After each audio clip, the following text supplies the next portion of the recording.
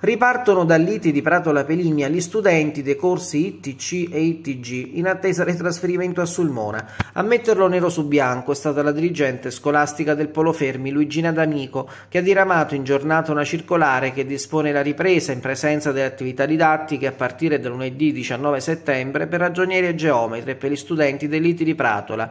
La preside ha raccomandato che tutto il personale docente ATA è tenuto al rispetto della nuova organizzazione del plesso, al divieto di accesso accesso nelle zone inibite e indicate da apposita segnaletica e ancora che il personale docente illustri minuziosamente rispetto di tali regole e le nuove planimetrie a tutti gli studenti nella giornata del 19 settembre. Si dispone pure che tutto il personale docente ATA vigili scrupolosamente sul divieto delle zone inibite. Nella giornata di ieri il comitato di Nino Morandi, prendendo in carico le diverse stanze delle famiglie, aveva chiesto una proroga alla DAD, proroga non accordata ma si sta cercando di spingere per il trasloco, seppur con imperdonabile ritardo. Nella giornata di lunedì saranno ultimate le operazioni di tenteggiatura dell'ex convento di Sant'Antonio, nuova sede provvisoria dei ragionieri e geometri, come pure la provincia dell'Aquila procederà ad affidare l'incarico per le operazioni di trasloco all'impresa reclutata con apposita procedura.